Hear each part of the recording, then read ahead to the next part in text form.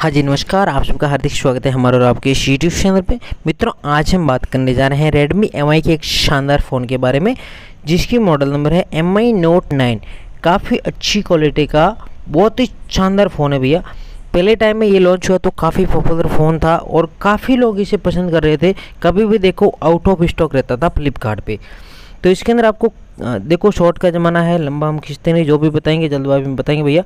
इसके अंदर आपको पाँच कलर मिलते हैं भैया। एक तो ग्रीन मिलता है, एक वाइट मिलता है, एक मिल जाता है पर्पल ग्रे और एक मिल जाता है रेड और एक मिल जाता है शेडो ब्लॉक तो इसके अंदर मेरी मानो तो सबसे अच्छा फ़ोन वाइट या ग्रीन या फिर ग्रे ले सकते हैं। इसके अंदर आपको दो वेरिएंट में मिलते हैं। एक तो चार चौसठ एम और एक चार